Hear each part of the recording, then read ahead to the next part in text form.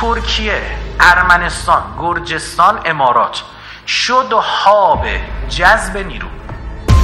طرف بلند شده رفته ارمنستان. افسر اسرائیلی میاد جلوش میشینه به زبان فارسی. ما بیش از 220 هزار تا 250 هزار یهودی فارسی زبان تو اسرائیل. که اسرائیلی ها زبان فارسی رو بین اینا زنده نگه داشته براشون امید خواننده رو می‌برن براشون بخونه. آخر هفته برای اینا مراسم می‌گیرن. که زبان فارسی هم بینم اینا یکی از کارهایی که انجام میدن تو واحد 8200 اسرائیل کار شبکه اجتماعی انجام میدن. اوایل که توییت می‌زدن گاف می‌دادن. مثلا هو می خ. چون تو تلفظشون هو خ تلفظ می‌کنن. مثلا خسن روخانی. لو می‌دادن خودشونو. خب الان دیگه خبره شدن. یاد گرفتم خیلی از این اکانت ها مثلا اسرائیلیه. خیلی هاشون از غذا شاخصاشون مثلا گافی که می‌دادم. همیشه هر سال قبل ما رمزون وای من امروز تو ما رمزون من امروز داشتم آب میخوردم منو گرفتن زدنم فلان مثلا دو روز قبل ما رمزون زده بود. یا به عربستان زده بود. از این گافا می‌دادن که هر سال اینا آپدیت تر میشن و بهتر میشن. خب افسر فارسی زبان میاد تو ارمنستان با این فدا داشته چه کاری؟ چه جوری؟ خوبی؟ ان سلامتی. بله خوبی.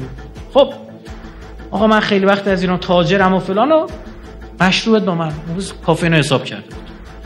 داداش دمت گرم. فرداش هم میای. آره باد حال کردم و آقا این جذب شد.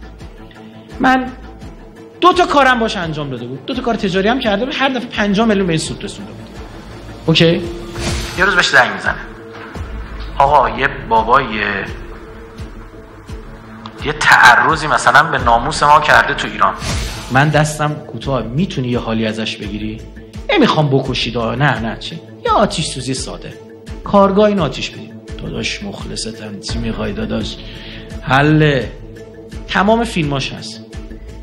میرن یه سمندی رو تو خیابون می‌گیرن دو سه نفر دو سه نفر. سمندگر پرتش می‌کنن پایین. برمیدارن میرن پمپ بنزین.